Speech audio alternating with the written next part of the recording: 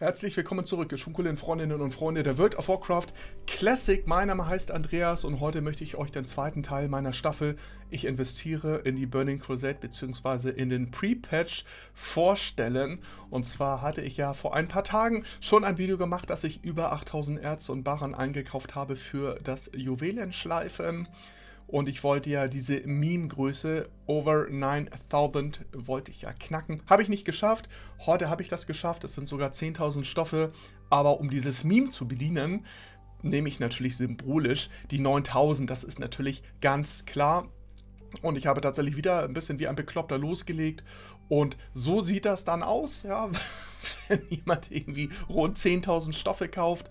Im Wesentlichen sind es die Grundstoffe, die ihr alle kennt. Es ist Kleinenstoff, es ist Wollstoff, Seiden, Magie und Rudenstoff. Und dazu kommt noch ein bisschen Klein- und Daddelkram, den man benötigt. Und ich habe ja vor ein paar Tagen dieses Video gemacht. Ich referenziere darauf, da habe ich noch mal ein bisschen mein Mindset hergeleitet und euch vorgestellt, warum ich das mache, warum ich diese Investitionschancen sehe.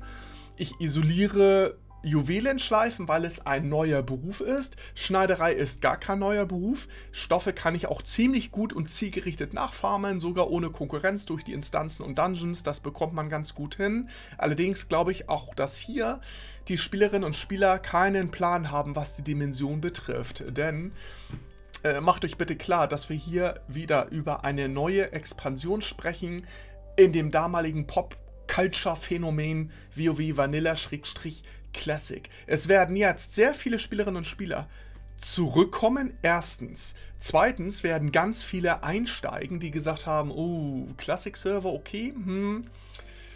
Ihr holt mich ab, sobald ihr Burning Crusade freigebt. Das ist die zweite Gruppe. Die dritte Gruppe, das sind diejenigen, die vielleicht bis heute noch auf den Privatservern spielen und sagen, ah, ja, auch da holt mich Vanilla Classic noch nicht so ab, aber sobald Blizzard die Burning Crusade bringt, dann zahle ich auch offiziell. Das sind drei Gruppen. So, drei Gruppen. Das war jetzt, das war jetzt ein bisschen eine, eine kleine Filmeinspielung äh, auf ähm, Inglourious Bastards, fiel mir gerade ein. Einige von euch kennen die Szene äh, in der kleinen Schankwirtschaft dort im Keller, die wissen, was ich meine. Aber wir sagen, es kommen drei Gruppen zurück an Spielerinnen und Spielern und äh, ich möchte das jetzt hier ein bisschen abkürzen. Ich habe im Wesentlichen zu dem Thema, äh, warum ich das hier so gemacht habe, ja alles schon gesagt und auch hergeleitet. Das Video werde ich verlinken. Verlinken werde ich auch äh, den Guide von Gold Goblin äh, Chris und den von Wowhead, denn hier sind nochmal zwei gute Übersichten aggregiert, was ihr benötigt so an Stoffen. Und äh, Chris hat hier so eine Stacks-Sicht, eine Stacks-Mimik mit dem unverwüstlichen Leder. Das finden wir hier auch auf der Wowhead-Seite.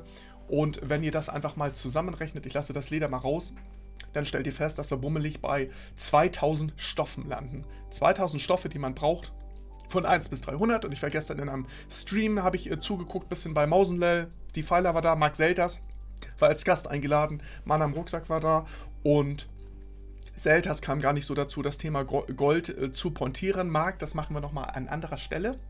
Ja, wir finden irgendwie ein Format, in dem wir uns austauschen. Idealerweise vielleicht, ich weiß nicht, ob Exitus dazu Bock hat. Ähm, ne, der ist noch nicht so im Classic-Hype. Vielleicht kommt das ja noch, ne? wird das zeitlich auch nicht schaffen. Auch ich werde mich entscheiden müssen. Ich fahre jetzt im Moment mehr die Classic-Schiene. Und ich weiß, dass Goldgoblin Chris auch ein Auge auf Classic geworfen hat. Chris, ich weiß es ganz genau. Äh, also mal gucken, wie lange er dem Hype widersteht und sein Content nicht doch auch ein bisschen mit ein bisschen Schwerpunkt Richtung Classic schiebt. Ich bin gespannt. Ähm, ich werde euch das hier verlinken, denn es passt so aggregiert als Pi mal Daumen. Und ähm, ergänzend möchte ich auch hier nochmal das, was ich schon verschriftlicht hatte, für das Juwelenschleifen hier auch nochmal kurz zusammenfassen. So ein paar Gedanken für euch, ähm, dass ihr das einfach nur kurz parat habt. Also, die Schneider können vor allem für die Stoffklassen Pre-Raid Best-in-Slot-Sachen produzieren. Mit anderen Worten, das sind Gegenstände, die man trägt die Bind on Equip oder Bind on Pickup sind, die wirklich das, äh, die, die besten Stats haben, bis sie ersetzt werden durch Drops aus den Raids. Ne? RNG ist da ein Thema, da muss man dann erstmal rankommen. Ne? Oder wenn man nachher zielgerechnet über, über Marken und sowas fahren, wir haben noch PvP, diese ganzen Geschichten. Aber nehmt erstmal so hin, dass Best in Slot-Rüstung für Stoffis hier ein ganz großes Thema sind und deswegen wird auch das Thema Schneiderei ein absoluter Blockbuster. Ähm, ich habe hier zusammengerechnet, diese 2000 Stoffe. Geht bitte davon aus, dass wir bei nur 500 Chars, und das klingt viel, das ist ein Witz, geht bitte davon aus, dass durch diese Spezialisierungen manche zwei, drei, vielleicht vier Schneider haben werden, aufgrund dieser Cooldown-Systematik. Dann habt ihr die ganzen neuen Spielerinnen und Spieler. Wir haben sehr viele Stoffklassen und oft lernen die natürlich auch Schneiderei. Ne? Ein Magier, ein Hexenmeister lernt jetzt nicht unbedingt äh, Bergbau und Ingenieurskunst, es sei denn, sie beschäftigen sich mit PvP. Das ist dann eine gute Kombination. Üblicherweise sind Schneiderei und Verzauberungskunst, und dazu komme ich gleich nochmal, sehr beliebte Kombinationen. Und bei 500 Chars sprechen wir von einer Million Stoffen. Ich bin jetzt nur bei 1 bis 300. Mit der Burning Crusade Schneiderei werde ich mich separat beschäftigen. Ich möchte hier den Haken dran haben. Rechnet bitte nach. 500 Chars, die von 1 bis 300 durchskillen, brauchen bummelig mit allem drum und dran eine Million Stoffe. Guckt mal kurz in euer Aha, wie viel denn da ist. Die Leute haben keinen Plan. Die haben gar keinen Plan, über welche Summen und Massen wir hier sprechen, auch wenn das nicht alles am Tag 1. Also viele denken, Andreas, öh, ja, ich, das ist jetzt schon, der Pre-Patch ist 5 Stunden live, ich habe noch nicht alles verkauft. Ja und?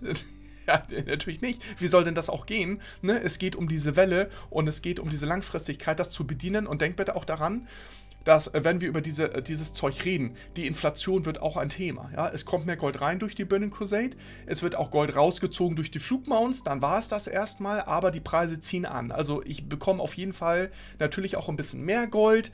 Nachher langfristig, ich mache mir da nicht so die Sorgen, natürlich muss man das wieder im, in der Gesamtsicht sehen. Gold ist dann auch weniger wert. Ne? Wenn ich nachher Leinstoff für das Dreifache verkaufe, ich bekomme das Dreifache aber durch die Quests und durch das Rohgold, hebt sich das wieder auf. Aber ich will damit nur sagen, ich ich bin mir sicher, dass ich das zu dem geeigneten richtigen Marktwert wieder abstoße und damit bin ich safe, dass ich auf jeden Fall eine Wertschöpfung durch Profit hier erziele. Das ist mein Mindset, das ist meine Sicht und das wollte ich euch vermitteln. Äh, noch weitere Gedanken kurz dazu. Äh, das hatte ich, äh, das hier, genau. Das wird oft vergessen. Ähm, gerade ab Seidenstoff braucht ihr vier Stoffe für einen Ballen. Bei Magiestoff und Runenstoff braucht ihr schon derer 5. Nur mal so, um auch nochmal diese Massen deutlich zu machen. Und ebenso sagte ich doch gerade, Verzauberungskunst wird gerne kombiniert mit der Schneiderei. Warum? Es korrespondiert super, weil die Schneiderei ein toller Lieferant ist für den Shuffle-Prozess, nämlich ich produziere die Sachen, die ich sowieso im Overflow habe, im totalen Überschuss wird entzaubert und ich habe die Materialien, mit denen kann ich dann die Verzauberungskunst skillen, denn die benötige ich ja auch. So, das wird total oft vergessen. Ne? Man hat immer nur diesen, diesen Fokus auf die Schneiderei. Leute, Schneiderei ist auch der super Shuffle-Lieferant. Das heißt, die Nachfrage hier oben, wird die eher noch größer oder wird sie geringer? Ist klar, ne? So, soweit erstmal dazu. Und wer spielt denn dann noch im Wesentlichen den ganzen alten Kram? Wenn wir die Burning Crusade erleben oder erfahren wollen. Das auch nochmal als Gedanken, wenn man sagt, ja, okay, ja, muss ich noch ein paar Mal Kloster rennen. Wer hat denn Bock, Kloster zu rennen, äh, wenn ich in den Zangermarschen schon meine Quests abarbeiten kann? Mit Verlaub, Leute. Ne? Vielleicht liege ich auch total falsch, das mag ja sein ich berichte, ich reflektiere auch nur, auch über die Geschichten, ähm, an die ich mich noch erinnere, damals aus der Zeit. So, weiter geht's. Äh, DB Marketpreise, auch das Magiestoff kann mit 6 oder 7 Silber bei euch jetzt schon viel zu teuer sein. Das auch noch mal so als Gedanken. Ne? Also kauft jetzt nicht blind rein, schon in die angezogene Nachfrage. Ja, solche Videos und diese Themen sorgen natürlich auch dafür, dass sich auf den Servern etwas tut in den Ökonomien. Und das ist ja auch gut so. Also seid da defensiv, achtet auf die DB Marketpreise, kauft die Dumper raus, es kauft ein bisschen ein. Es mag ja nur für eure Infrastruktur und euer Setup reichen, dass ihr eure Chars soweit bereit habt. Ja, für ein oder zwei Chars die Juwelenschleifen lernen, einer sollte reichen. Aber vielleicht für zwei Schneider, dann seid ihr erstmal ausgestattet und gut gerüstet. Ähm, letzter Punkt, Mondstoff. Äh, da habe ich so viel, viel Information, Desinformationen erfahren. Ich könnte mir die Haare raufen. Und ich habe euch nochmal eingefügt, also mit dem Patch 243 seinerzeit, 2008, ist das Thema Mondstoff und Cooldown entfernt wurde. Das heißt, im Rahmen der Burning Crusade verschwindet der Mondstoff. So, Investitionen, die ich mehr als einmal schon gelesen habe, Investitionstipps in Mondstoffe, spült sie das Klo runter, Leute, vergesst es. Was ihr machen könnt, ihr könnt damit natürlich skillen, ihr könnt es für Skillpunkte nutzen, das ist gar kein Thema, das, was ihr habt, lasst es gerne liegen. Ihr könnt es auch für die Taschen nutzen, aber Leute, es kommen die Nether-Stoffbeutel. So, und die haben dann schon 16 Slots. So, und damit äh, sorgen wir auch sowieso eine, für eine Entwertung, was Mondstoff angeht. Das bitte ich nochmal zu bedenken. Und das nächste ist, findet ihr denn hier bei Chris auf der Seite und in dem Wowhead Guide, findet ihr hier irgendwas vom Mondstoff bei 1 bis 300? Relevanz null. Relevanz ist null. Ähm, das Einzige, was nachher relevant wird, ist tatsächlich die Geschichte Transmog. So, die kam aber erst relativ spät zum Cataclysm, zu der Expansion. So. Und äh, damit zog auch sowas wie Mondstoff. Ne? Ich sagte ja in, in meinem letzten Stream, ich glaube auch im Goldcast, dass ich für über 20.000 Gold Mondstoff verkauft hatte, ähm, dass ich einfach nur geparkt habe Warum? Weil man das für Transmog dann braucht. So, damit hat es wieder eine Aufwertung. Jetzt erstmal pass bitte auf, was Mondstoff angeht, witzigerweise, das dazugehörige Urmaterial, nämlich um diesen Cooldown zu bedienen, Teufelsstoff, der wird dann eher teurer. Warum? Ne? Wenn dieses Gate einfach niedergerissen wurde, dann komme ich natürlich schneller an diesen Produktionsprozess und damit habe ich auch mehr Nachfrage nach dem Ursprungsmaterial. Das ist eher so eine Geschichte. Aber immer wenn ich etwas lese zu den tollen Mondstoffinvestitionen, zu der Burning Crusade, Leute, ähm, löschen. Das ist alles Quatsch. So, das war's. Das sind meine Gedanken, äh, hier, ne, damit ich euch ganz schnell jetzt schon in das Wochenende entlasse. Und ähm, muss man nicht so machen, kann man machen. Es geht nur darum, ich möchte nur einmal illustrieren, so geht Andreas daran, das ist mein Mindset. Ich sehe das als eine gute kurzfristige Investition für den Pre-Patch und langfristig jetzt auch für die ganzen Nachtzügler, denn diese drei Gruppen, wann und wie und wo sollen die das eigentlich alles farmen? So. Ja klar, haben die kein Gold, die können das nicht bezahlen. Ja, okay, das bedeutet dann aber, dass die, die es dann kaufen, wenn so wenig da ist und es ist so teuer im Auktionshaus, wenn sie kaufen, kaufen sie es bei euch für mehrere Goldstücke und genauso soll das sein, ihr Lieben. Das wollte ich einfach damit äh, nochmal deutlich machen. Das waren meine 10.000 Stoffe und ich freue mich, ihr seid herzlich eingeladen, wenn ihr uns äh, besuchen mögt in unserer schon coolen World of Warcraft Discord Community. Äh, werde ich mich wahrscheinlich eher im Klassikbereich rumtreiben und äh, weil mir das gerade mehr Spaß macht. Also ich habe da gerade total Bock zu. Und man kann in Retail in den Schattenlanden so viel machen, aber es ist ein zeitliches Thema. Ich werde mich fokussieren müssen und im Moment bockt mich Classic wesentlich mehr.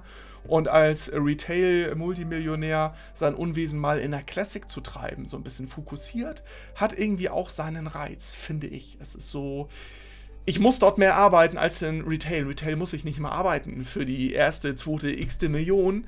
Das sieht hier aber anders aus in Classic. Und das reizt mich total und das macht mir so viel Spaß. So, so, jetzt sind wir durch. Schon cool, dass ihr da wart. Schon cool, dass ihr wiederkommt. Ich wünsche euch ein tolles Wochenende. Bis zum nächsten Mal. Danke fürs Einschalten und tschüss.